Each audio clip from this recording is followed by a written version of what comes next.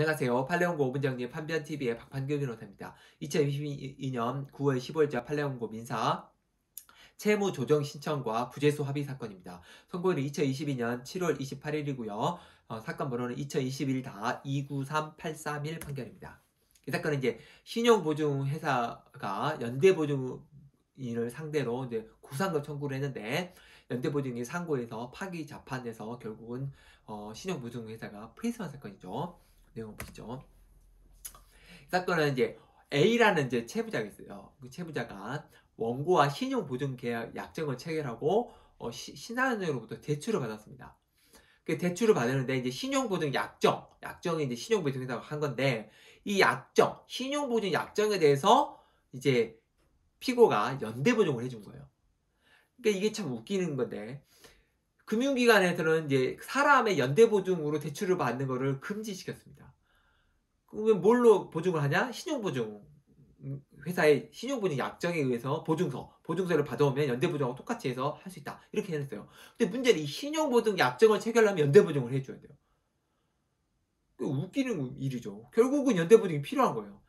어쨌든 연대보증을 대출 채무에 하느냐 시정보증 약정에 하느냐 요 차이밖에 없는 것이 연대보증이 필요한 거고 이상한 것 같아요.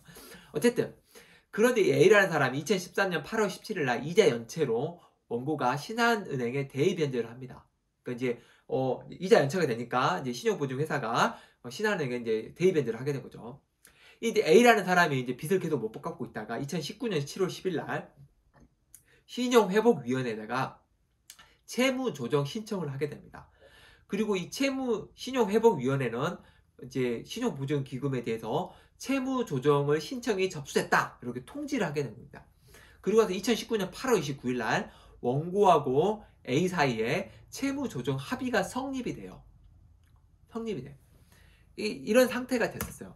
그런데 이렇게 신용회복위원회에 채무조정 신청을 하고 채무조정 합의할 경우에 연대보증에 대한 효력은 어떻게 되느냐 요게 이제 문제가 된 겁니다. 요거에 대해서 이제 하급심이 갈렸어요. 계속. 즉 채무 조정 신청 그 대법원 뭐라고 하냐면 채무 조정 신청 통지 후에 채무 조정의 효력이 상실되기 전까지 전까지는 채무자와 보증인에 대한 채권 추심 부재수 합의를 한 것으로 보아야 한다. 따라서 피고는 부재수 합의의 항변을 행사할 수 있었고 부재수 항변의 항변을 행사했다면 소각하여야 된다. 그래서 결국은 어, 부재수 합의에서 합의가 된 걸로 보기 때문에 이게 이제 채무자에 대해서는 이런 게 부재수 합의가 있는 걸로 이제 법상으로 되어 있었는데 연대 보증에 대해서는 어떤지가 불분명했어요. 그래서 다수의 소액 사건에서 판결이 계속 엇갈리고 있었어요. 부재수 합의가 아니, 법이 없는데 이거를 과연 인정할 수 있나? 안 될 것 같아.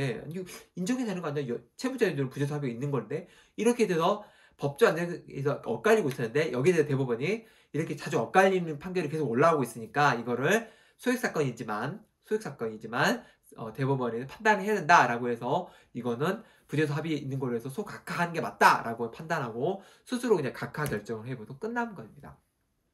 그러니까 이렇게 신용회복위원회에 채무 조정을 신청을 하면 나중에 채무 조정 합의 시 전까지 결론 전까지는 부재수 합의가 있는 것으로 끝나는 겁니다. 그래야 이제 채무자가 더 이상 뭐 그 그러니까 채무로 인한 구제를 받을 수 있도록 그래서 관련사건이 다수 있었고 이런 해서 뭐 문의한 사람도 많이 있었던 걸로 보여요. 그러니까 어쨌든 이 사건은 신용회복위원회에다가 채무 조정을 신청을 하면 하면 채무 그 채무 조정이 끝나기 전까지는 어 부재수 합의가 있는 거고 그거는 연대 보증인한테도 미친다. 미치기 때문에 연대보증에 대해서도 소제기할 수 없다. 요게 이제 기억해 주시면 좋을 것 같습니다. 이상 마치겠습니다. 감사합니다.